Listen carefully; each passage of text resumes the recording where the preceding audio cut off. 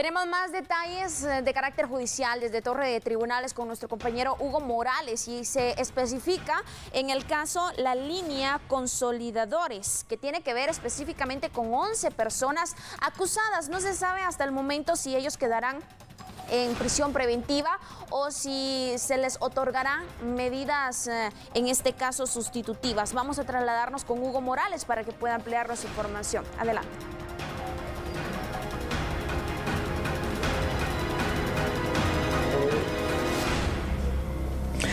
¿Qué tal Andrea? Muy buenos días, buenos días amigo televidente. Así es, en el juzgado B de mayor riesgo se continúa desarrollando audiencia de primera declaración de 11 personas que incluso este jueves el juzgador resolvió que queden ligados a proceso, es decir, que sean investigados por la supuesta defraudación cometida al Estado guatemalteco por 14 millones de quetzales, hechos que se cometieron del 2014 al 2015, por lo cual se había resuelto que fueran investigados por los delitos de asociación ilícita, defraudación aduanera y cohecho pasivo, como también el delito de cohecho activo.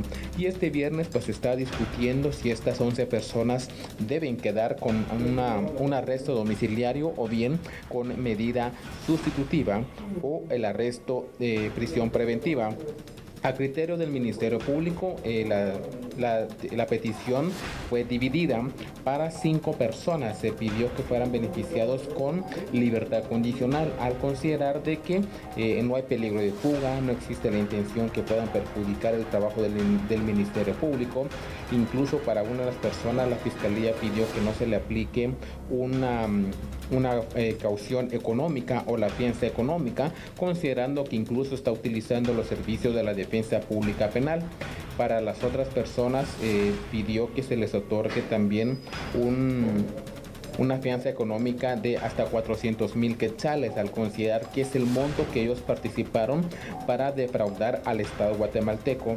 Esta petición de cinco libertades condicionales fueron únicamente para cinco personas, porque a criterio de la Fiscalía no existe el peligro que incluso puedan escaparse de la justicia, porque algunos de ellos tenían una orden de captura y fue su propia decisión presentarse ante los tribunales de justicia para resolver su situación legal, por lo cual el, Ministerio Público considera que estas personas tienen todo el interés de entregarse y resolver la situación eh, judicial. Se trata de Salvador Montenegro Brol, Otto René Anleu, Marco Antonio Sagastume, Arnoldo José Arana y Edgar Aníbal Mejía. Las personas que la Fiscalía pidió un arresto domiciliario y el pago de algunas fianzas para unos. En cambio, para las otras seis personas, la Fiscalía considera que sí existe el peligro, de fuga, por lo cual pidió que se decrete prisión preventiva para estos, estas seis personas ya ligadas a proceso.